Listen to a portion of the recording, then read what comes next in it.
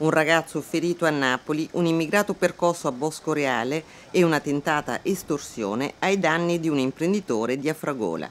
Forze dell'ordine in servizio nella notte nell'area metropolitana di Napoli.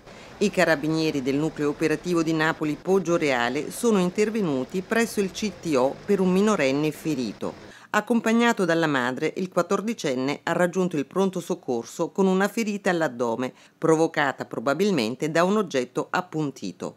Per lui prognosi di 30 giorni.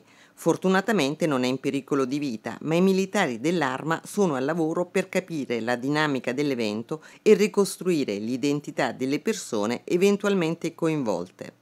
Carabinieri al lavoro anche a Bosco Reale, dove in via Cangiani è stato ferito un uomo. Si tratta di un 32enne di origini marocchine, colpito alla spalla e alla testa, forse con un coltello.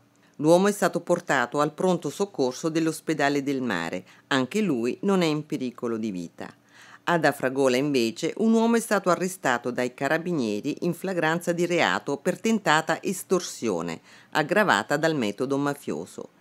I militari, quelli della locale caserma e quelli del nucleo investigativo di Castello di Cisterna, coordinati dalla Procura di Napoli, sono intervenuti sulla base della denuncia dell'imprenditore minacciato.